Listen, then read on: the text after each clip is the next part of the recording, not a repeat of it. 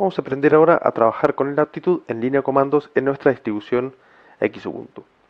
Por supuesto, estamos hablando de una herramienta de línea de comandos que es válida para cualquier distribución basada en paquetería dev, como Debian, Ubuntu, Xubuntu, Mint, cualquier distribución derivada. Lo primero que vamos a hacer es abrir un emulador de terminal. Ahora bien, en este sistema no existe la aptitud, hay que instalarlo, para lo cual tenemos que conectarnos al repositorio y descargarlo. Para ello vamos a utilizar el comando apt-get, pero como es un sistema que puede que no estemos actualizando seguido, la lista de paquetes del apt-get puede que esté desactualizada. Por lo tanto vamos a proceder a primero descargarnos la lista nueva de los paquetes desde el repositorio, que en este caso yo ya lo he hecho. Lo hacemos con el comando apt-get update con sudo ya que necesitamos ejecutar estos comandos con privilegios de superusuario. Se conecta al repositorio y chequea y verifica la lista de repositorios nueva. Una vez que hemos descargado esta lista de repositorios nueva, lo que vamos a hacer ahora es instalar el comando aptitude. Vamos a hacerlo directamente con apt-get install aptitude. Nuevamente con sudo para descargarlo desde el repositorio. Una vez que se ha descargado el comando aptitud y se instala en el sistema, veamos que se desempaqueta, se procesan los triggers o disparadores y se configura el sistema operativo, ya disponemos del comando aptitud instalado en nuestro sistema y vamos a poder utilizarlo. Esto dependiendo de la conexión a internet de cada uno, eh, si hemos descargado ya la lista de paquetes o no, o si hemos instalado algunos paquetes previos, puede que la salida de estos comandos sean diferentes. Una vez que tenemos el comando aptitud instalado, por ejemplo, busquemos un editor de texto. Yo quisiera instalar o ver si en Xubuntu existe un editor que me gusta que se llama Medit. Así que vamos a buscarlo, el Medit en la lista del repositorio. Y me dice que se encuentra un paquete que se llama Medit. En el caso de que nosotros no supiéramos el nombre completo del paquete y pusiéramos solamente un patrón, también va a buscar todos los paquetes que coinciden con ese patrón. Por ejemplo, edit.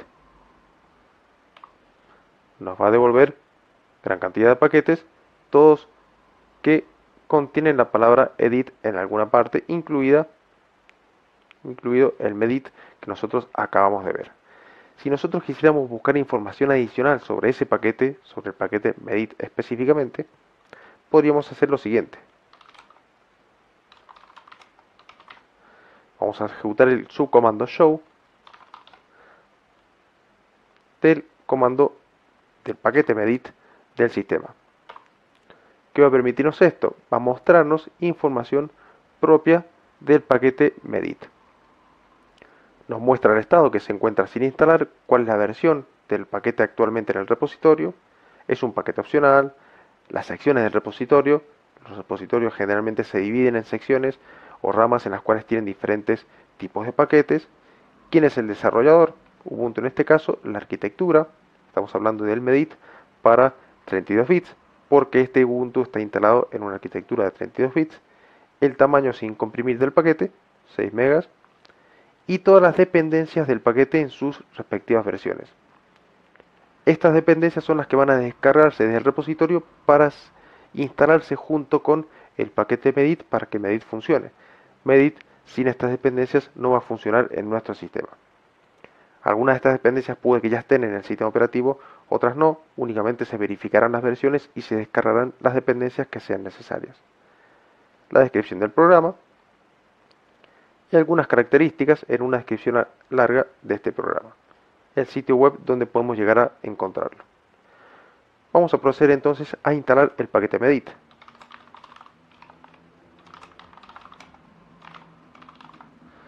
sudo aptitude install medit. Verifica, como es un paquete chico, directamente lo descarga de internet y lo instala.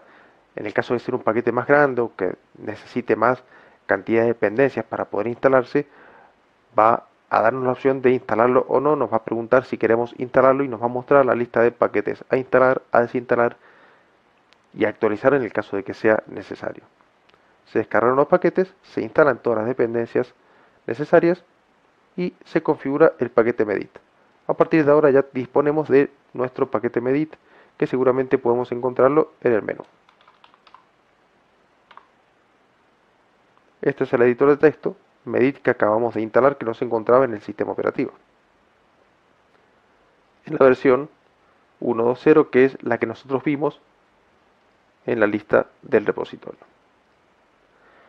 Supongamos que quisiéramos ahora eliminar el paquete medit. Y aquí tenemos dos opciones. Una es remove medit, que es elimina el paquete, sus binarios, sus eh, bibliotecas, en el caso de que tenga bibliotecas propias, su documentación, páginas manual y demás, o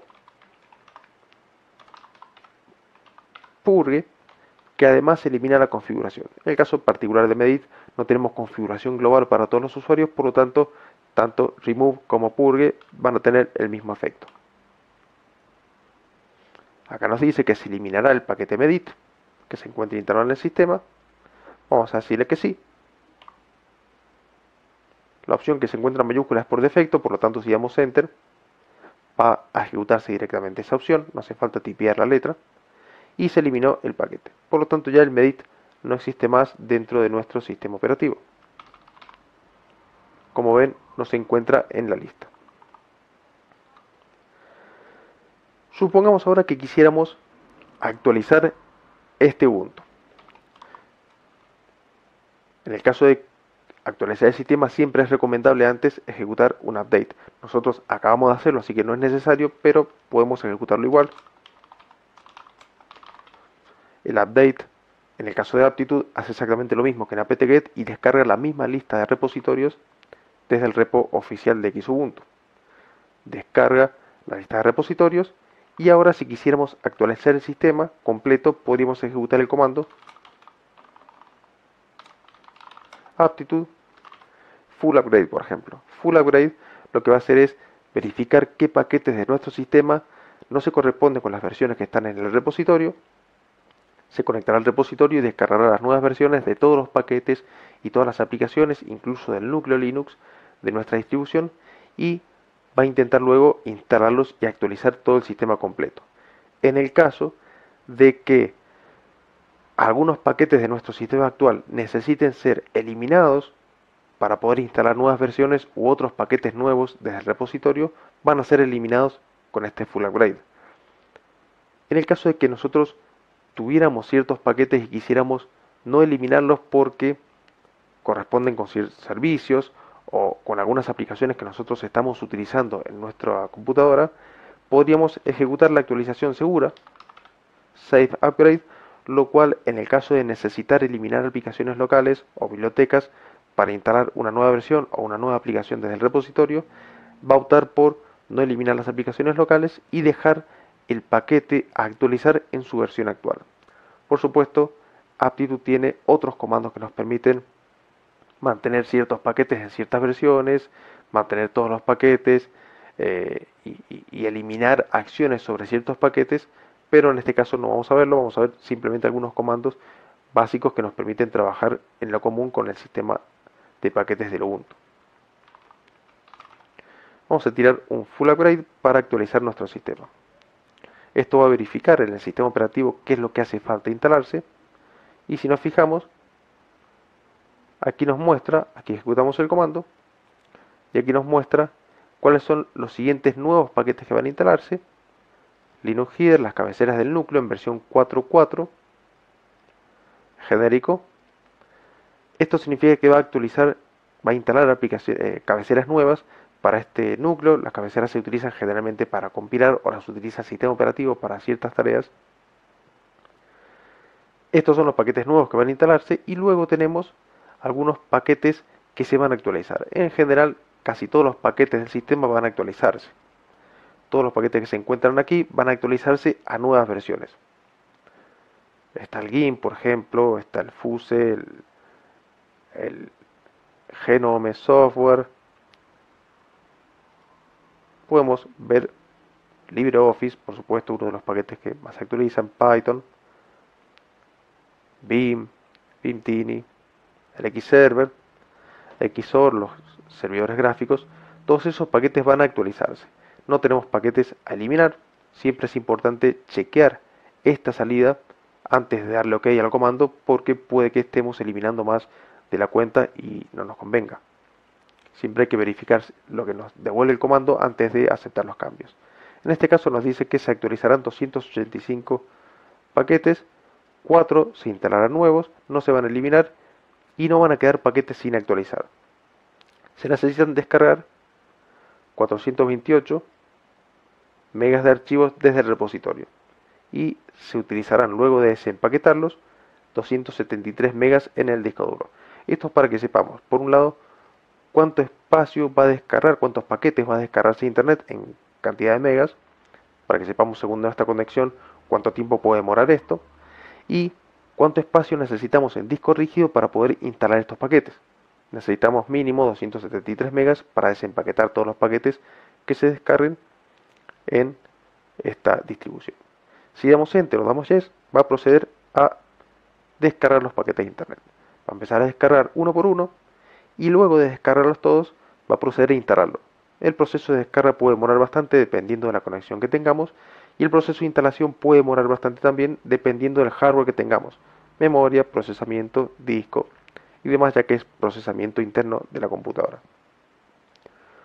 Aquí me dice por ejemplo que según mi conexión me quedan dos horas, casi tres horas de descarga de paquetes y luego procede a la instalación. En general no suelen fallar estas instalaciones, son seguras, eh, muy pocas veces vamos a tener inconvenientes a la hora de actualizar un sistema operativo y por supuesto y como recomendación nos conviene siempre tener el sistema actualizado a la última versión que se encuentra en los repositorios. En este caso voy a cancelar la instalación porque no vamos a dejarlo en este, en este caso dos horas ahí descargando, lo voy a dejar por supuesto después. En el caso de que nosotros quisiéramos cancelar un comando de aptitud, podemos presionar la combinación de teclas control C y con esto cancelaremos el comando o casi cualquier comando en el sistema. Y por último vamos a ver